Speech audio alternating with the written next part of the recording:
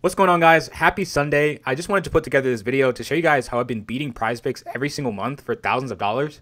And to do that, I want to do what I think is the most helpful, most responsible way to do that. And that is to simply sign into my account and show you guys exactly what I'm betting on, all my wins, all my losses, and actually scroll through my account so that you guys know that I'm not just saying this, I'm actually doing it every single day.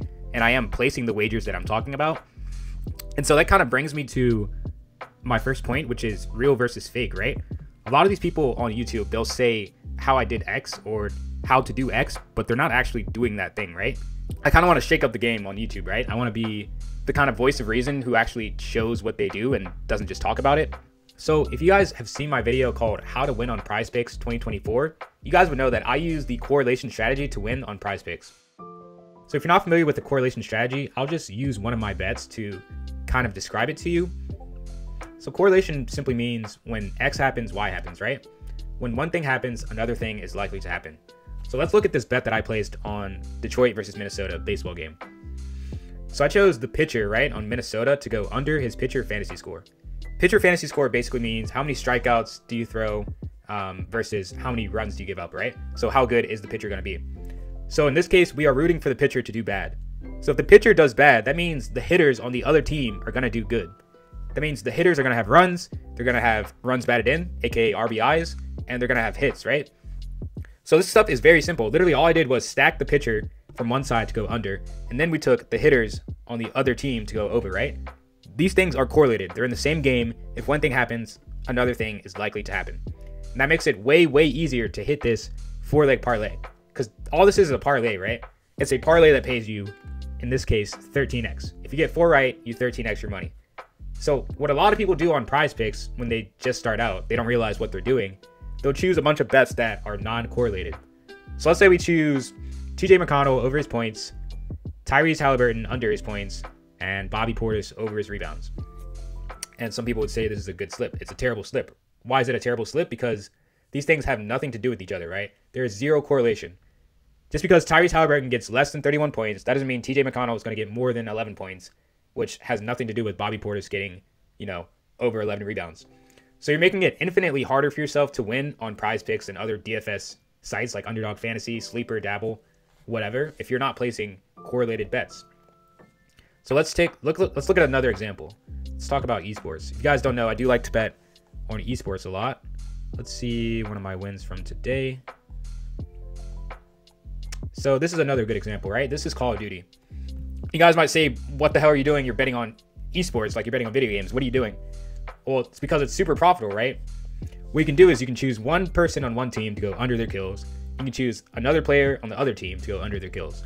These two things are correlated because in this specific game, Call of Duty, either the game goes for a long amount of time or the game goes for a little amount of time. So if one person on one team goes under their kills, then, excuse me, another person on the other team is going to go under their kills. These two things are correlated. You can do the exact same thing with, you know, two more players.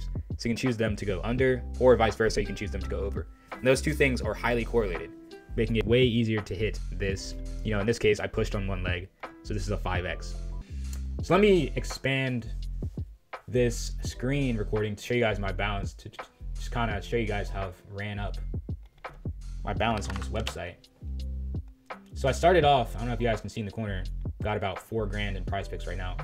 Actually started off with a thousand dollars in December and managed to use the correlation strategy to get up to four thousand dollars, even though I've actually withdrawn several thousands of dollars, right? So in reality, I'm up about ten thousand dollars in profit in about four months. And if you ask me, that's pretty damn good.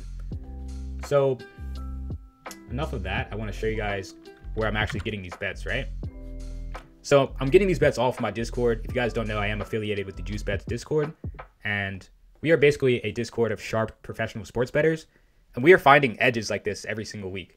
When I say edges, I mean ways to beat the sports books, how to beat PrizePicks, how to beat underdog, how to beat sleeper, FanDuel, Caesars. Whatever sports book it is, we have education and we have professional knowledge on how to beat these books. And we're sending out profitable bets just like these ones that I just showed you on the screen. Esports, baseball, whatever it is, we're sending these out every single day, 24 7. So if you want to be a profitable sports bettor, I'll go ahead and I'll throw my profit loss on PrizePicks up on the screen as well. You guys can look at my Pikkit account. Um, if you're not aware, Pikkit is basically an app where you can track your bets. That $70,000, you know, winnings number that you guys see is only gross winnings. It's not net.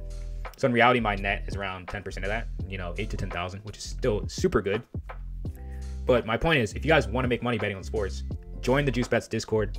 There's not a Discord out there that's doing the things that we are doing. And I promise you, if you're not having success with sports betting, it's simply because you don't have a community like this to show you guys and guide you on the way, right? When I first started out in sports betting, I didn't know what the hell I was doing.